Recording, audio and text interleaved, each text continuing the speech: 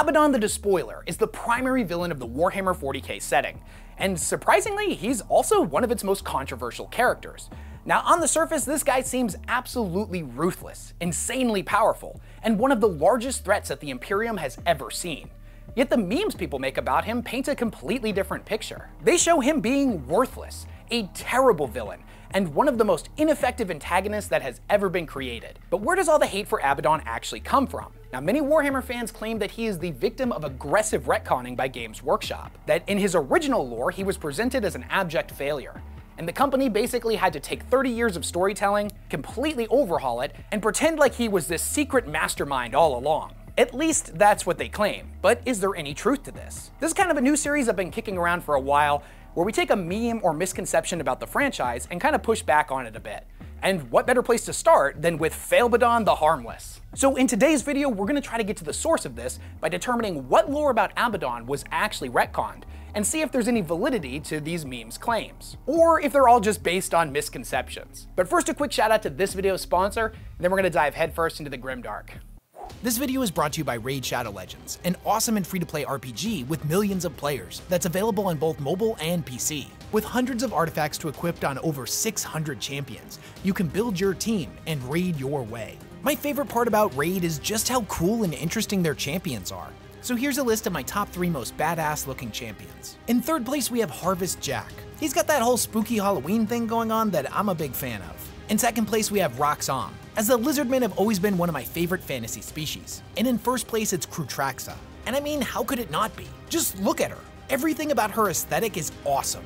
Also, Raid's got something really special for new players this Christmas. If you download Raid from December 19th until January 10th, then copy your player ID from in-game, you can go to 12daysofraid.plarium.com where you can take part in a brand new minigame for a chance to win some amazing prizes, including holiday-themed champions. And speaking of champions, Raid has just released a free legendary champion based off of MMA and wrestling legend Ronda Rousey. To get her for free, all you have to do is log in and play Raid for 7 days, between now and February 20th. So click the link in the description or scan the QR code on the screen to download Raid today. New and existing players can use the promo code RAIDRONDA to get all of these goodies here on screen and level her up super fast. On top of that, new players can get a free starter pack worth $30. That includes a free epic champion, Vergis, 200k silver, 1 energy refill, 1 XP boost, and 1 ancient shard. You'll find all these rewards here for the next 30 days. Thanks again to Raid Shadow Legends for sponsoring this video.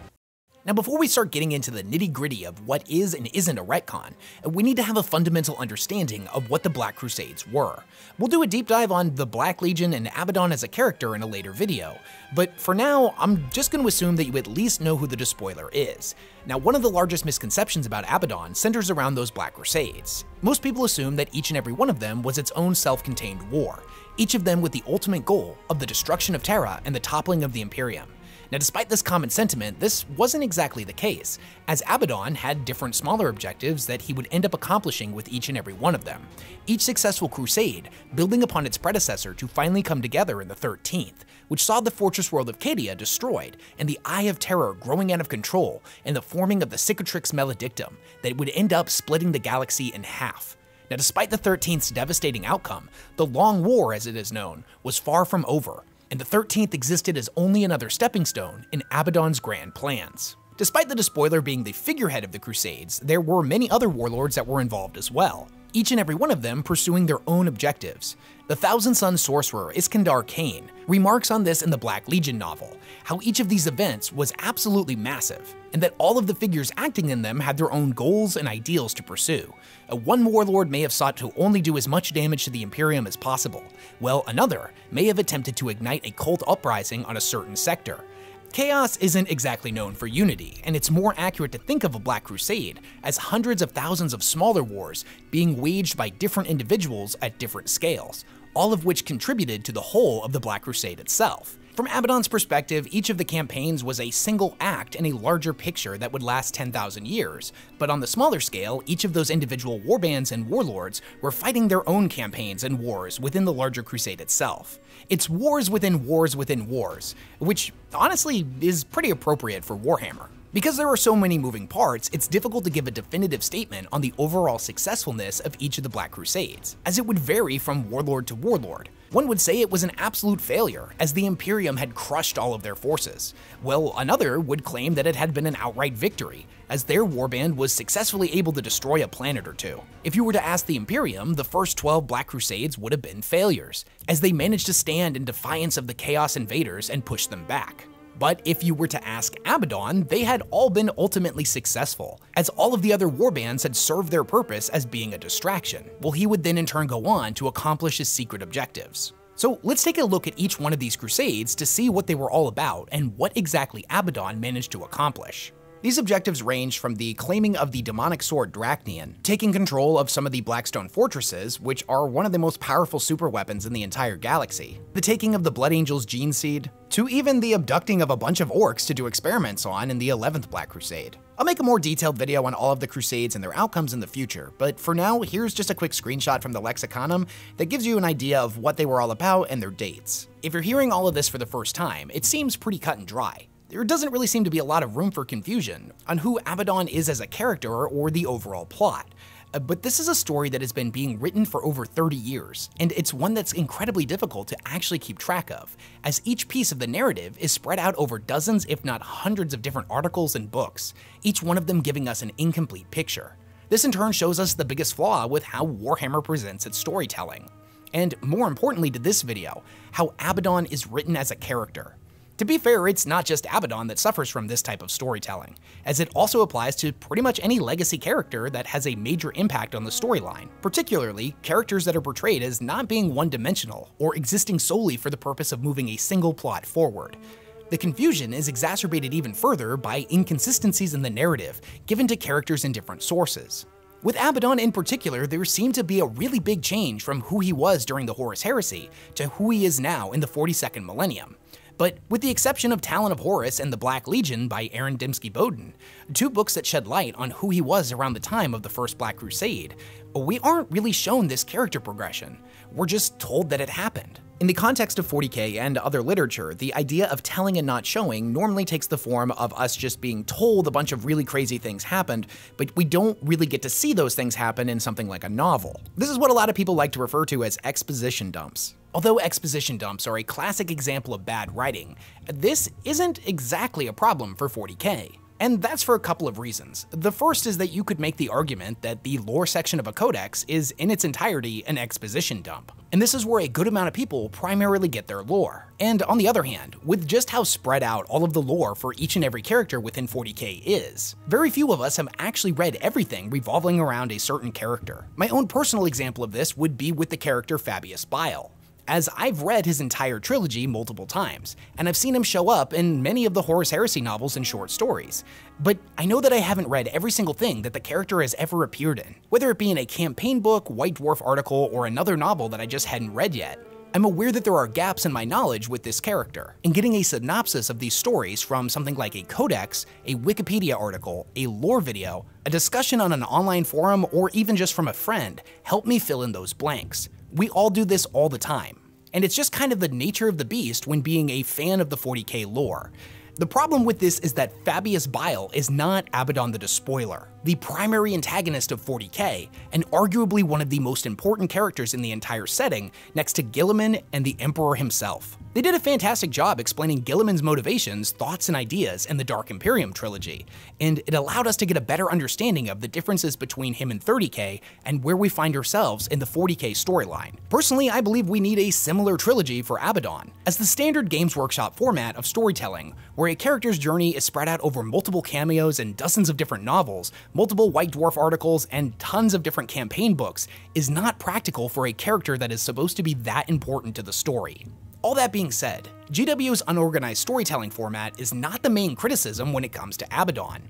It's that he seemingly has been retconned into being successful by a major portion of the community. Many Warhammer fans believe that he was originally portrayed as worthless and ineffective, unworthy of the lofty title of main antagonist of Warhammer 40k. And through the sneaky use of aggressive retconning, Games Workshop is now trying to pass him off as this secretly awesome character who was never a failure, but was actually playing 12 dimensional chess behind the scenes all along. Personally, retcons have never bothered me, if it makes the story better and more concise, but some Warhammer fans absolutely hate when anything in the lore gets changed. And this isn't me criticizing them, I actually understand that. And I think being frustrated by changing lore, especially in a universe this difficult to keep track of, is a completely valid position to take. Now that being said, I think we should do our due diligence to find out what things about Abaddon are actually retcons or just misconceptions. And in order to do that, we need to define what a retcon really is.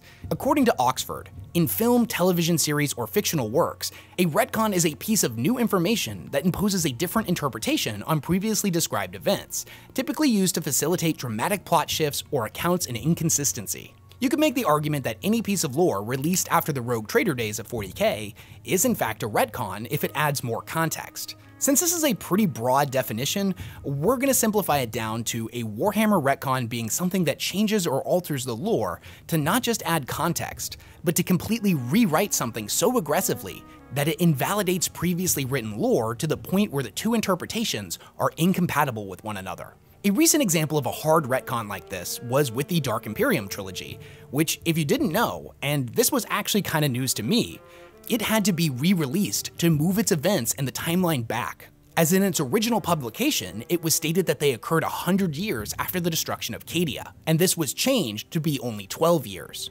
This is a hard retcon, as the timeline has been fundamentally changed and the two dates are not compatible.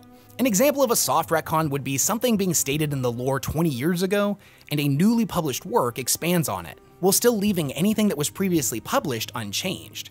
I don't really consider that a retcon. I'm aware that I'm narrowing down the definition of retcon to fit the confines of this video, uh, but if I don't do this, then every single Horus Heresy book could be technically flagged as a retcon as the very first thing ever written about it was just a single paragraph that said that Horus was a space marine that turned against the Emperor. The Primarchs weren't even a thing, Leman Russ was just considered to be a general in the Imperial Army. So by the more broad definition, every single book that has come out would be retconning, and to label them as such, I just don't really feel it's very constructive. So let's take a look at some of the most common retcons that people point to when talking about Abaddon. The Black Crusades were not failures, but were secret victories. This is the most common element that detractors of the character like to point to, at the age-old meme that Games Workshop had to rewrite the lore in order to make Abaddon successful, as all of his crusades to destroy Terra were ultimately failures. In order to get to the bottom of this, we're gonna have to go back to the very beginning and see where Abaddon came from. Pictured here on screen is a page from the 3rd edition Chaos Space Marines Codex, published in 1999. Now, it specifically mentions that Abaddon personally led 12 of the Black Crusades, and that each and every one of them was ultimately pushed back by the Imperium, but at great cost. This passage alludes to many of the victories that Abaddon achieved in all of these crusades, but it doesn't say which prizes were claimed in which crusade, or that all of the fighting and raiding done by the other Chaos Space Marines was only meant as a distraction. It informs the reader that Abaddon was able to claim the demonic sword Drach'nyen, but it doesn't really give us a lot of context. If we go back even further to the second edition Chaos Space Marines Codex that was released in 1996, we can see a very similar paragraph. It mentions the same stuff while keeping it very vague and cryptic. If we were to jump forward to the 8th edition Chaos Space Marines Codex, which came out in 2018, we're given a similar paragraph to the ones that came before, but with a few notable exceptions. The first is that the 13th Black Crusade, as well as the ones that came before, are further expanded upon. It spells it out for us that they were building blocks to eventually herald in the destruction of Cadia, the forming of the Great Rift, and the eventual collapse of the Imperium. A lot of the vagueness from earlier entries has been stripped away here. Now, if you were to have jumped from one of these codexes to the 8th edition codex, this would seem like a retcon. But the codexes are not the only source of lore. In fact, if we look at a more obscure source from 2003, the Liber Chaotica Book 1 Khorne, we can see a person giving us a vague description of each one of the Black Crusades through prophetic visions, meaning that even at this time, these being secret victories that were all building up to the 13th had already been established. And I think we should establish something real quick about when people are complaining about retcons with Abaddon. They're normally pointing to 2017's The Gathering Storm. Most of the time, they're not referring to lore that came from 3rd or 4th edition in the early 2000s as most people understand that the universe really hadn't been fleshed out that much in like 1st and 2nd edition. So as we talk about this book, bear in mind that the Liber Chaotica came out in 2003. I don't like putting anybody on blast because that's not my style. And I don't think it's really fair to criticize somebody for not having read every piece of obscure media that exists in 40k. But this is an article from the Bell of Lost Souls that claims that everything about Abaddon and all of the Crusades had been retconned. And they're specifically citing the 2019 Chaos Space Marine Codex as the primary source of these retcons. The article's kind of written with a snarky tone and says that Abaddon is the king of retcons that his 13 Black Crusades are the source of the most self-corrected retconning in history. The article then goes on to list each one of these crusades and then mentions what Abaddon managed to achieve with each and every one of them. That the commonly held belief that Abaddon had failed 12 times in a row was being retconned by Games Workshop. It concludes by telling the viewers, like it or not, this is all now considered canon based on the 2019 Chaos Space Marines Codex. But it's not. It's been considered canon since at least 2003. Because if we open up the Liber Chaotica, it spells out pretty much everything that happened in each of the Crusades and goes into a pretty decent amount of detail. In the first crusade, it talks about how they would have escaped to the Eye of Terror and everybody believed that they were dead, but they were going to be wrong which is exactly what happens with Sigismund, who believes that they're still out there, and leads a crusade in order to track down Abaddon, even though the rest of the Imperium believes they've died. Like, there's actually a surprising amount of detail here, and shows Games Workshop had a plan for Abaddon at least as far back as 20 years ago. There's a couple events in here, like the Host of Talamon, where it says that the narrator can't really see clearly what's going to happen, but he can just see that the Wolf Warriors are going to be important. But for the most part, this is pretty informative. So when people make the claim that all of these crusades are retcons, I can kinda understand where they're coming from because they most likely didn't read this book. Most people probably don't even know that it exists. And it's not really fair to criticize somebody for only having read their codexes or the novels that were released around the same time when they were actively playing. But the cold hard truth is that it does exist, so none of these are actually retcons. At most, it's just evidence of Games Workshop putting some pretty important story details that would have been nice to have in the earlier codexes in a super obscure art book that no one's going to read, and then correcting that mistake years later by adding them to the new codex, which created a lot of confusion with the fanbase and honestly probably wasn't a great idea in retrospect. Another one of these claims that's kind of in the same vein is the Blackstone pylons on Cadia having been one of the major retcons around Abaddon. The Blackstone pylons are massive monolithic structures that dot the surface of Cadia and many other planets throughout the galaxy. The material that they're made of has the remarkable ability to channel and amplify the energy of the warp, or outright nullify it, depending on how it's charged. They're seen as the major contributing factor to how the Fortress World of Cadia was able to stand right outside the Eye of Terror, even though by all accounts, the radiating warp energy coming off of it should have made this impossible. Many Warhammer fans have pointed to their existence as a retcon, that the pylons didn't exist in the old lore, and they were invented simply to give Abaddon some type of MacGuffin that he needed to destroy in order to win. This is not true. Cadia's pylons have existed in the lore for at least 20 years. They were mentioned in the Eye of Terror campaign book from 2003, and they were one of the primary plot devices in the Eisenhorn book series that was released around the same time. Not to mention, they would be fleshed out even further in 2005, in the 13th Black Crusade background book by Andy Hoare. Each of these sources lining up pretty precisely with the descriptions from the Gathering Storm era, but we'll get to that in a little bit. If one was to only have read their descriptions in the campaign books, they would get a very cryptic mention about their purpose, following up with statements like, some theorize that, or legend has it. But what they are and what they do is still being spelled out for us. This is made abundantly apparent in Eisenhorn, as the story's primary antagonist wants to recreate them to use them as a weapon. Consequences be damned. That's not to say that the Pylons lore has never changed, as it would be expanded upon greatly in the Gathering Storm, as well as in the 8th edition Necron Codex. It had never really been stated that the Necrons were the ones who made them, but judging by the early artwork of the Pylons, it's not a difficult assumption to have made at the time that it was written. The Necron Codex states that their purpose was to create a vast network of stable real space, immune to the Immaterium's influence. Well, in the Gathering Storm, they would become incredibly important to Cadia's ultimate destruction. Their importance has been spelled out for us for years, and simply moving the story forward to actually involve them, or changing who originally created them, doesn't really do anything to alter Abaddon's story arc. So the Pylons are also not a retcon. If somebody didn't know that a lot of these things had been previously established, you could see all of them as major retcons. But the biggest by far is the idea that the 13th Black Crusade actually came to an end in 2003, and that Abaddon had failed to destroy Cadia. This claim can trace its origins back to the Eye of Terror campaign from the early 2000s, a campaign that seemingly had its ending changed over a decade later. I cannot stress enough just how absolutely insane this campaign really was, and it honestly deserves its own video, but I'll summarize it here for those of you who were not in the fandom at the time. The campaign was supposed to represent the 13th Black Crusade, and saw the entirety of the galaxy engulfed in war. Every single faction played a prominent role, and players were able to upload their victories and defeats to an online database. When certain factions were successful in certain sectors, this would have direct consequences that GW promised would have long-reaching implications on the lore going forward. And I can't really put into words just how massive and ambitious this project was. Never before had anything like this been done in the tabletop gaming space, at least not to this ridiculous scale. It's impossible to determine just how many players participated in the events, but over the eight weeks that the campaign ran, Games Workshop received over a quarter of a million game results. The end result was that by all intents and purposes, it had been a draw, though they did mention that the Forces of Chaos had managed to gain a foothold on the world of Cadia. But it was very much not destroyed, and maybe that's more of a testament to the superb game balancing skills of the old design team, but it certainly was an anticlimactic conclusion.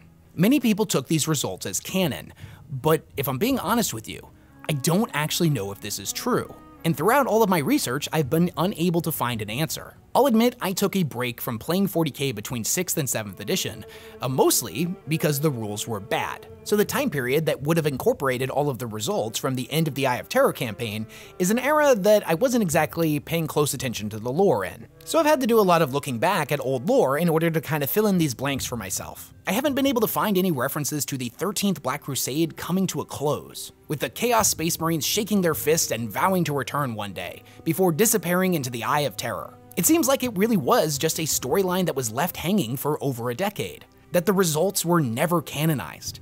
In fact, when you look at the Chaos Space Marine Codex from 4th, 5th, and 6th edition, they refer to the 13th as if it is still ongoing, even though the campaign had come to a conclusion and Games Workshop had posted its results multiple years prior. As far as these codexes were concerned, Abaddon's forces were still currently fighting against the Imperium on the surface of Cadia. Now that would all change in 2017, when a three-part campaign that started with the book Gathering Storm was released. Now this book recontextualized the events of the Eye of Terror campaign, while seeing it eventually accumulate in the destruction of Cadia and the forming of the Cicatrix Maledictum. So is it fair to call this a retcon? It directly contradicts the results posted on GW's website from a 20-year-old player event, but those results don't seem to have ever been interwoven into the actual universe of Warhammer, at least as far as the destruction of Cadia is concerned, as I believe they actually did use a lot of the results from the campaign to flavor certain types of lore that came in the future, like the Thousand Sons being in the Webway. It's a weird situation, and I'm just speculating here, but I feel like the idea of having real games directly influence the future of Warhammer 40k was a fantastic idea in concept, but when they ended up with a draw, Games Workshop didn't really know what to do. Say what you will about the narrative of the Gathering Storm campaign, and we definitely will in a video in the future, as there's a lot to cover. And there's even more so that can be objectively and fairly criticized. But in terms of Abaddon achieving victory over Cadia, it just doesn't read as a retcon. It reads as the conclusion of a story arc that was left hanging for far too long. To close this out, I wanted to share with you a really interesting quote that was posted on Aaron Dembski Bowden's WordPress. He talks about the difficulties in writing the book Talon of Horus, and he alludes to the fact that everyone who contributes to the Warhammer lore has meetings all the time behind the scenes, discussing the setting and all of the characters within it. He tells us that there were two major problems with writing about Abaddon as a character. The first was that his lore was spread out over so many different sources and so many different years that it was difficult to narrow down what exactly needed to be focused on. But the other major problem with the character was that he was the victim of a barrage of comedy memes, most of the which spread misunderstandings and misconceptions about the character. He doesn't exactly tell us where this comes from, but he alludes to the fact that it is a behind-the-scenes collective archive, something that I would assume the lore masters use when they're making new books. It's a passage about the despoiler that resonated with him, and he says he hopes that we'll find it as inspiring as he did. Quote, Horus was weak. Horus was a fool. It sums up Abaddon. Horus allowed himself to be used by Chaos. Horus is the Chaos Power's dupe to get back at the Emperor. Abaddon will never let this happen. He will never allow himself to be a pawn of Chaos. Simply surviving without choosing one as a patron is a massive achievement. Never succumbing to the temptation of becoming a demon prince's second.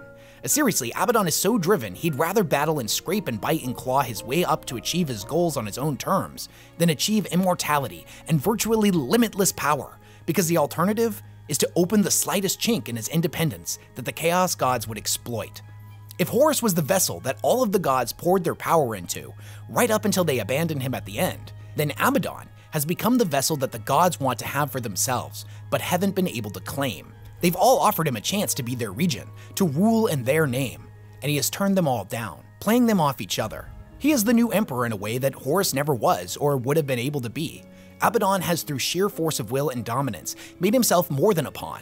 He has made himself a kingmaker. If he was to choose one god to serve, if he dedicated the Black Legion to a single power in his name, that god would crush his rivals almost to the point of victory. Almost. Because chaos can never win against itself, of course, and Abaddon has seen the truth of this. He knows that chaos is a process, a state, not a goal. And the moment anyone surrenders the journey and forgets the destination is the moment their worldly ambitions are forgotten, and their spirits become simply a part of the chaos powers. Abaddon is utterly relentless in his pursuits of what he wants. Whatever that may actually be, revenge on the Emperor? Too petty. Vengeance for Horus? Too sentimental. Power? Yes. But what kind of power? Mortal power. He could have all of the immortal power he can handle if he but asks for it. But that is not what drives him. He sees the Primarchs disappear, fade, die, or simply not care anymore, and he understands that only a man can really rule other men. Abaddon doesn't want to destroy the Imperium, he wants to succeed where Horus failed. He wants to be Emperor and have mankind bow beneath his rule. His rule, not the rule of the Chaos Gods. Abaddon has not failed because he is willful or incompetent. He has mustered the greatest army since the heresy and unleashed them upon the material universe. He has amassed power and influence within the Eye of Terror greater than any Primarch. He has done this through feat of arms and personality, but the only thing he can never truly do, because it's anathema to chaos, is truly unite the ruinous powers. They can only come together in dominance, not subservience. Whenever Abaddon has been on the brink of victory, his backers break ranks, seeking to gain some last minute short term advantage. Ultimately, a win for Abaddon is a loss for Chaos. If he becomes Emperor, he has everything he desires, and they can hold nothing over him. And so they continue to dangle the carrot, continue to be his patrons, giving him demonic power and servants, ordering their mortal representatives to debase themselves and serve his will, all in the hope of snatching the final victory of Abaddon for themselves. It is the office politics of hell, literally. Uh, one of the beliefs surrounding Satan in many Christian theologies is that his defiance of God was his refusal to bow to man when they were created. And refusing to submit to the rule of mortals, Abaddon carries this analogy perfectly.